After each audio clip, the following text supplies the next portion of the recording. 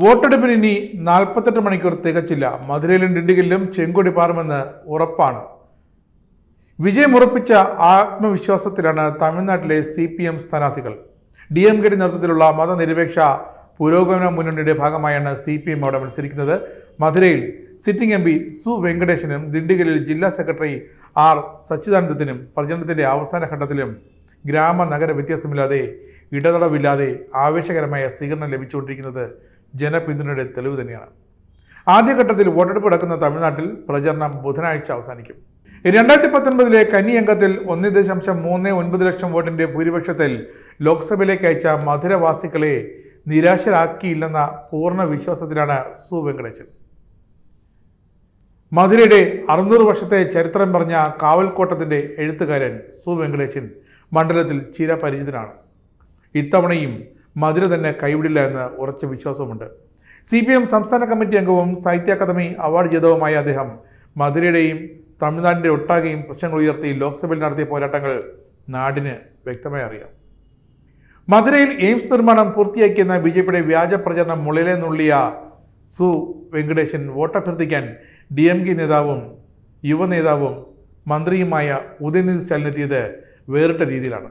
ജയിച്ചു വരുമ്പോൾ എയിംസ് നിർമ്മാണം പൂർത്തിയാക്കാൻ ഒരു ഇഷ്ടിക സമ്മാനമായി നൽകി ഉദയനിധി. ശിലാസ്ഥാപനത്തിനപ്പുറം ഒരു ജോലി നടത്താത്ത എയിംസിന്റെ പേരിൽ വോട്ട് നേടാനാകില്ലെന്ന് ഉറപ്പായപ്പോൾ തെരഞ്ഞെടുപ്പ് പ്രഖ്യാപനത്തിന് തൊട്ടു മുമ്പായി ടെൻഡർ ഉറപ്പിച്ച് ചുറ്റുമതിൽ നിർമ്മിച്ച് മുഖം രക്ഷിക്കാനായി ബി ജെ പി നടത്തിയ ശ്രമം സി പി എം അങ്ങനെ പൊളിച്ചടുക്കി. നീറ്റ് വിഷയവും ഹിന്ദി അടിച്ചേൽപ്പിക്കാനും ചരിത്രം തിരുത്താനുള്ള നീക്കങ്ങളുമൊക്കെ സജീവ ചർച്ചയാകുന്ന മധുരയിൽ വെങ്കടേശൻ രണ്ട് ലക്ഷം വോട്ടിനെങ്കിലും ഭൂരിപക്ഷത്തിൽ ജയിക്കുമെന്ന് ഉറപ്പിച്ചിരിക്കുകയാണ് എ ഡി എം കെ പോലും.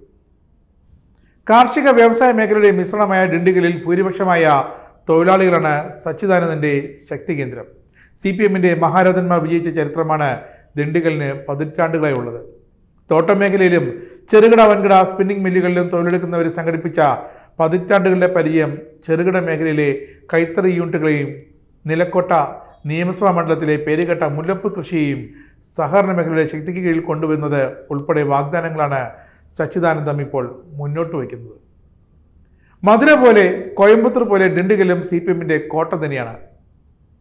പ്രഗത്ഭന്മാരെയാണ് പോയ വർഷങ്ങളിൽ ചരിത്ര വിജയം നൽകി തമിഴ്നാട് അസംബ്ലിയിലേക്ക് ഈ മണ്ഡലം പറഞ്ഞയച്ചത്. അറുപത്തിയേഴിൽ എ ബാലസുബ്രഹ്മണ്യം സി പി എമ്മിന്റെ സംസ്ഥാന സെക്രട്ടറിയായിരുന്നു. എഴുപത്തിയേഴ് എൺപതിലും എൻ വരരാജൻ സി പി എമ്മിന്റെ അന്നത്തെ സംസ്ഥാന സെക്രട്ടറി. രണ്ടായിരത്തി ഒന്നിലും രണ്ടായിരത്തി ആറിലും പതിനൊന്നിലും കെ ബാലഭാരതി ഇവരൊക്കെ സി പി എമ്മിന്റെ ഡിണ്ടിഗലിന്റെ പ്രതിനിധികളായിരുന്നു നിയമസഭയിലേക്ക്.